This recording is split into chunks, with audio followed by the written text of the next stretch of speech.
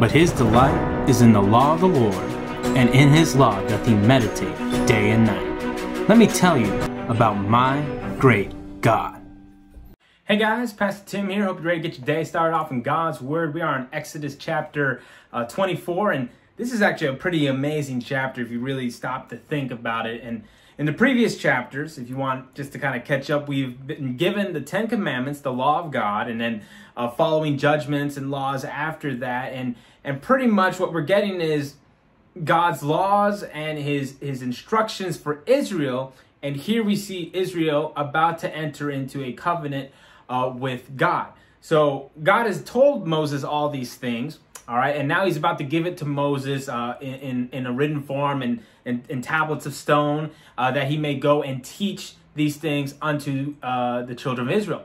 So he calls Moses, uh, Aaron, and a couple of the elders, and se- actually 70 uh, elders to come up unto him to worship him, and then he's going to call Moses alone to come up unto him, and he would give him uh, the, the the tablets of stone and the written law of God and and the other instructions as well to teach into the children of Israel. All right, and and the majority of the people are to uh, remain afar off. All right. And before Moses does this, he talks to the children of Israel and says what he's about to do, and they give their consent. Hey, what the Lord says, we will do it. All right, so they're about to enter into this covenant uh, with with God, and in a way, almost officially become His people, and He officially uh, their God. And before he does that, Moses uh, that night he writes down all that God has told him, the Ten Commandments, all these uh, judgments and so forth that he's been given. And the next day he reads it unto the people, and they say, Yes, what the Lord says we will do. All right, hey, we're good with it, Moses. Go up there and, and make this covenant uh, with God. We will be his, his people. All right, and so he offers a sacrifice uh, unto the Lord there. He builds an altar at the base of the mountain. He has young men bring in uh, offerings for a burnt sacrifice, and he takes the blood thereof, just uh, uh and sprinkles it upon the altar, and even sprinkles it upon uh, the people as well. Obviously, I don't think it means all the people. Most likely, just young men that brought forth the uh, sacrifices, but is a picture of just the importance and the, the severity and the sacredness, really, of what this covenant means. Hey, we are giving our lives, we are we are committing ourselves unto Jehovah God. This is a very serious matter. It's not to be taken lightly, and it's a covenant that God is keeping uh, unto this day.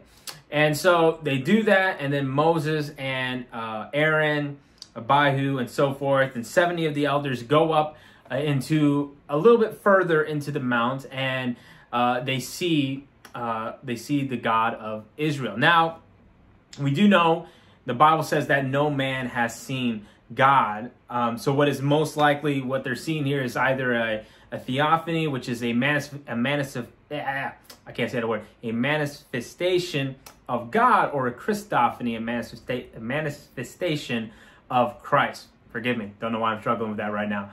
Um, so they don't see the actual God, they don't see the actual Christ, because no man can see uh, God and live. they most likely saw either um, a, a, presence of His glory, a manifestation of His glory, or a, a or a, manifest, a manifestation, oh my word, of Christ or God Himself, not actual Christ or God.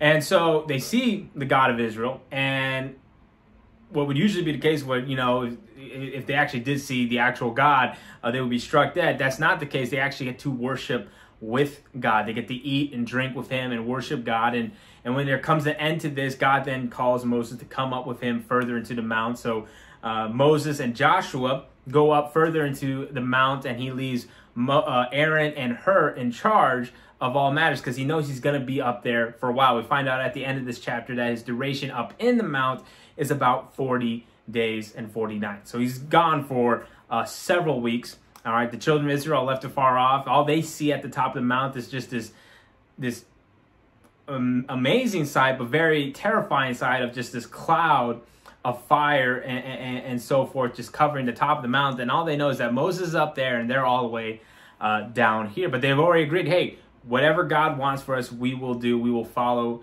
God. We, we commit ourselves unto him. So, but Moses leaves Aaron and Hur in charge. Any matters that come up while he's gone up in the mount, they're supposed to take care of. We're going to see uh, how well they do with that. And that's where the chapter leaves off.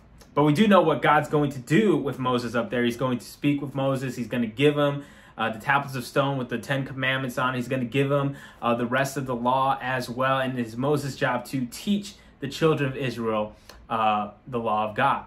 Um, in that, we see a great picture of us as Christians. It's our job to teach uh, other Christians as well what God's word uh, says, especially younger, uh, young and new believers. Hey, teach them what God's word says. Don't simply teach them uh, your own opinions. Don't simply teach them your uh, man's ways. No, teach them what God's word says. That's the duty of every mature Christian uh, unto the next generation coming up to follow Christ. That's all we got for today's chapter, guys. I hope you wrote some things down. Um, just kind of picture for a second there just how amazing it would be to just kind of be in their situation where even as the elders they're able to worship uh, with a manifestation of God or or as Moses himself who spends over a month up at the peak of the mount just talking with God. It's an amazing thing to consider the privilege, the relationship, the closeness he had with God. Um, that's something that every Christian could aspire uh, to attain. Uh, we won't attain it here on earth, but guys, there's going to come a day uh, when we'll be able to worship with our Lord and Savior uh, in heaven. And I hope that's the case for everyone watching this video. Uh, other than that, hope you guys are writing things down. As always, tell somebody what you got out of God's word today. Stay safe, stay healthy. God bless.